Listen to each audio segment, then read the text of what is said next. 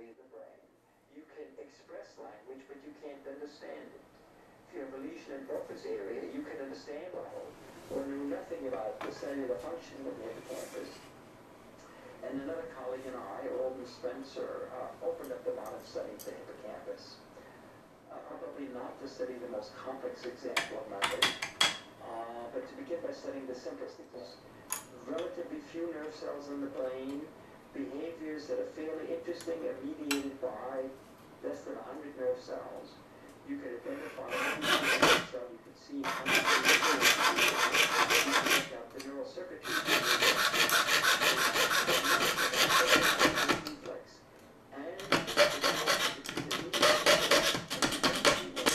in the brain when this reflex is modified by learning. close defensively. Repeat the process again and again, and the touch is pretty much ignored. Add electric shock. and close.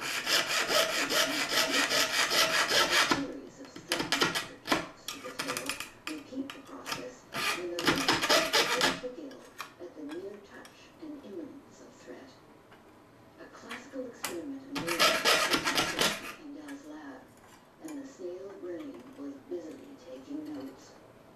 My colleagues and I found that in the normal animal, before learning, that the connections between the sensory Schizophrenia.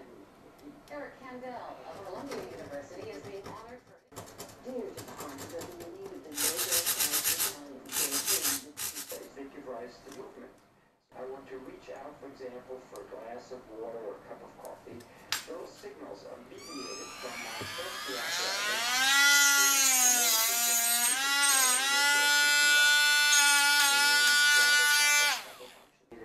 by a whole set of regions acting in concert. Well, can we talk first about consciousness? What is Let's proceed on an unconscious level. When you and I drive our car, we don't think of, now I have to put my foot on the brake. We do that automatically. But if you could locate in the brain where you think these defenses are, These unconscious processes is the amygdala. It's a structure that lies deep in the brain. We exposed normal Peter, a very brief exposure, and you'd ask him, what did you see? Beautiful face. And we saw that, but for the unconscious lighting up was directly related to how much basal anxiety.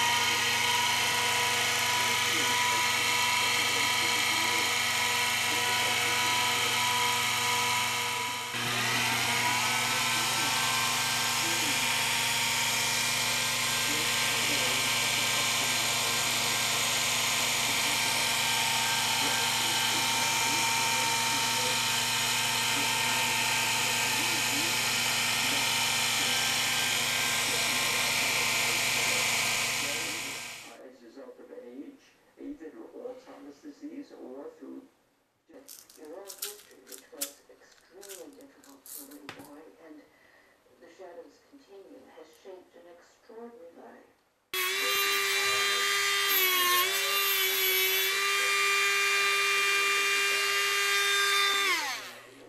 Or at least tamp them down, modulate them to a degree. mo- modulated that. What I have had the wonderful life that I've had in nation in say society has an obligation to soldiers that we sent to war, the firefighters that we sent uh, into a flaming building. Those things need to be discussed, debated, and decided upon. I don't think that's something that we can allow of our citizens to a certain danger. Do we carry With Wars long reach across the years and informs our time today. I'm talking about PTSD.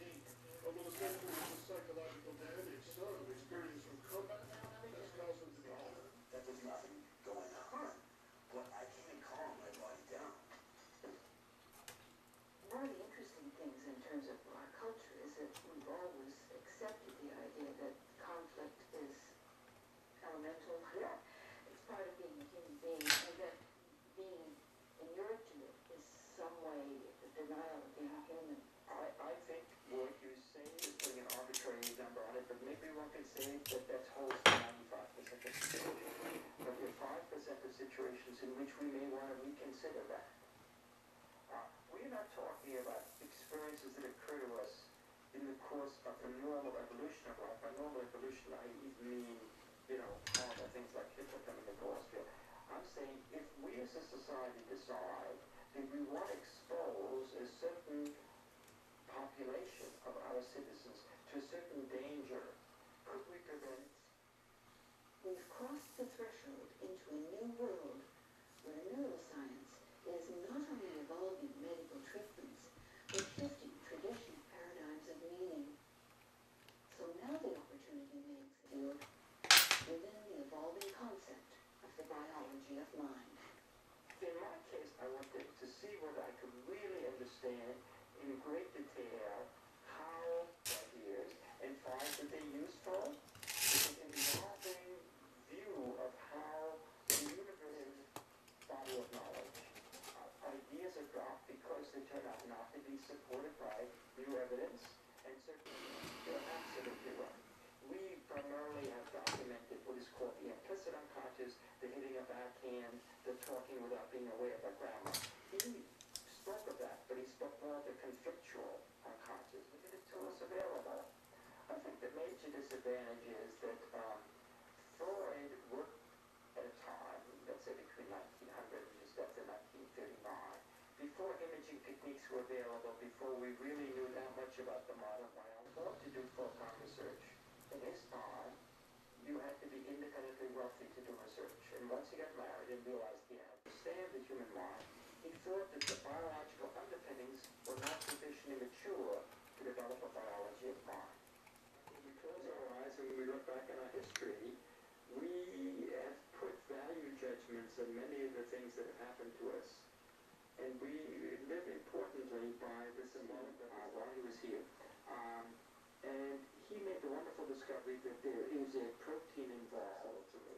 But I think he's right that the past is much richer than I can evoke at a moment's thought. It has unconscious components that have meaning for me, but